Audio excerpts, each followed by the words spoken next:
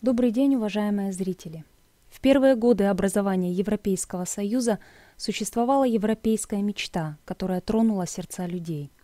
Это была мечта об экономически сильной Европе, а также о свободе передвижения без границ.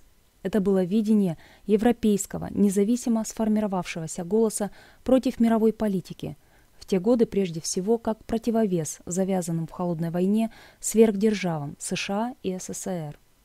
И что не менее важно, это была мечта о такой Европе, где никогда больше не разгорится война.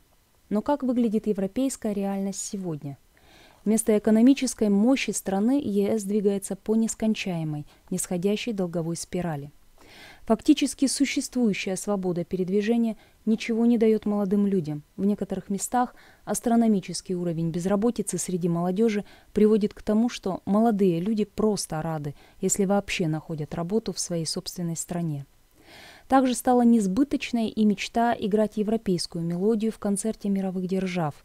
ЕС стал рупором управляемой глобалистами американской внешней политики, которая в первую очередь – видит себя чемпионом по экспорту войн и в том числе гражданских.